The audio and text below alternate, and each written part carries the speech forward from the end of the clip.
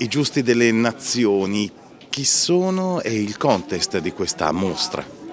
E questa mostra, che è stata realizzata dall'Istituto Yad Vashem di Gerusalemme, ha come tema i giusti tra le nazioni.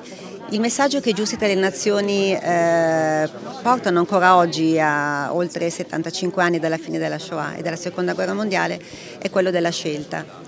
L'Associazione Figli della Shoah che presenta questa mostra ha voluto fortemente eh, portare oggi questo messaggio, che è un messaggio contro l'indifferenza.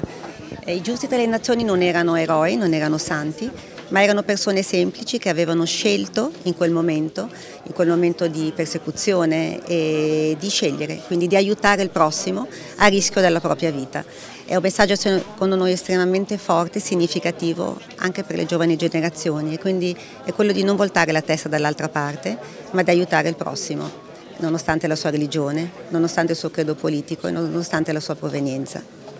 Insomma un aeroporto è un luogo di partenza, un luogo di arrivi, un luogo di incontro e anche un luogo di riflessione in questo caso. Sì, anche, anche quest'anno la SEA è a fianco eh, dell'associazione dell Figli della Shoah e mm, l'Inate ancora una volta ospita una, una mostra, una mostra per non, per non dimenticare eh, durerà tutta la settimana eh, della, della memoria di Milano e, e, noi siamo veramente contenti di, di questa iniziativa. Eh, la mostra diciamo, accessibile a tutti perché è posizionata in area all'inside, quindi prima dei filtri di sicurezza e oggi si può anche visitare prendendo appunto la metropolitana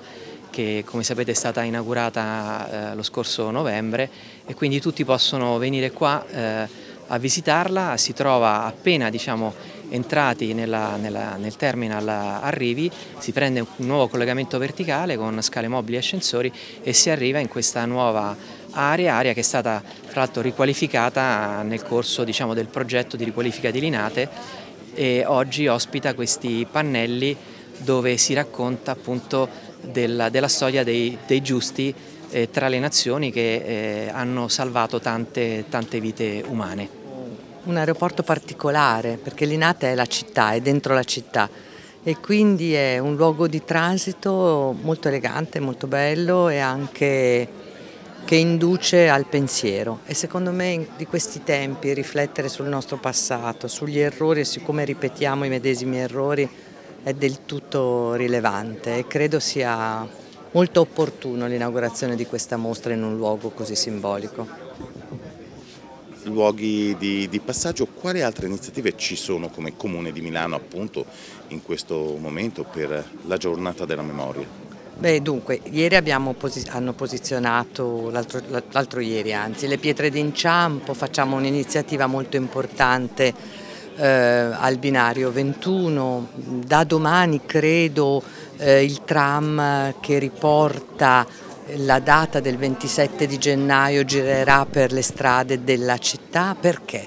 Perché è importante che le persone continuino a vedere, a ricordare e a usare questo come monito per il futuro.